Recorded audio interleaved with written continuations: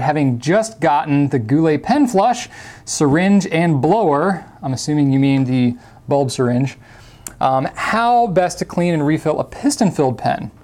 I know how to use the cleaning stuff with the twist converters, but I have several piston types where I can't see the contents of the barrel or inkwell. Um, yes, when you're using a piston fill pen like this here, I've got a TWSBI 580 all.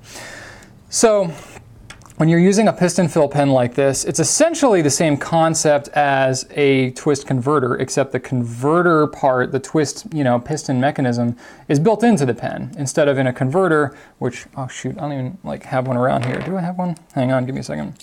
Yeah, here we go. So a converter, like I have in this, you know, um, vanishing point, uh, is the same kind of concept, right? So you've got a twist piston that moves up and down except on the TWSBI it's built in because it's a piston mechanism. So it's, it's a very similar kind of thing, but they call this a converter because you can accept cartridges or a converter for bottled ink into this pen.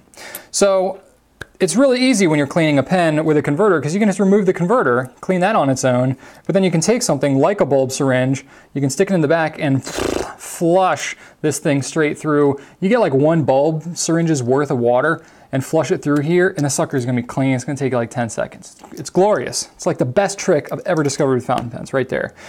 But with a piston, you can't really do that because the thing's all built in. There's no like converter thing to be able to pull out of there. So there's a couple different options for you. Really the main one is pretty much you just screw and unscrew. You know, you're just moving the piston up and down constantly in the water and it's pushing out water. The problem is you're sucking in dirty water, you're pushing out dirty water, sucking in dirty water, pushing out dirty water. And it's gonna take you a while to really get the thing clean.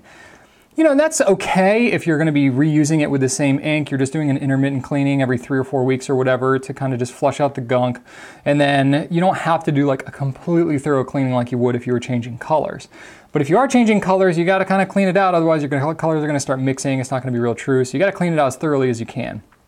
So there's a couple of different other ways that you could do it. If you have a pen with a removable nib or a removable grip section or something like this TWSBI, you can remove it and you can use an ink syringe. Uh, do I have one? Shoot, I started talking about the ink syringe and I have, uh, give me a second. I've got one over here. Yeah. Here we go.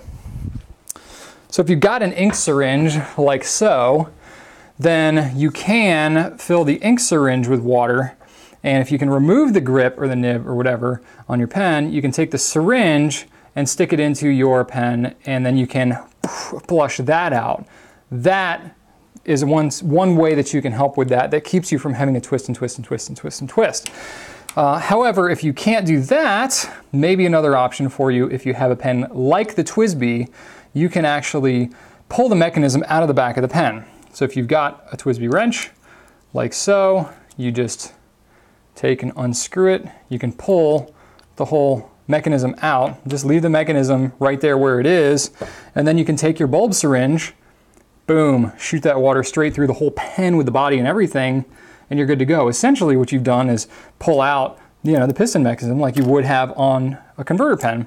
And then to reassemble it, if you keep the whole thing together, it should be easy to reassemble and then put it back there. Depending on the type of piston pen you have, you may or may not be able to disassemble it like this. And so that might not be an option for you, but either way, those are the three options I have for you. Either twist forever, use a syringe to flush it out if you can pull the nib out, or flush it through the back if you're able to do that.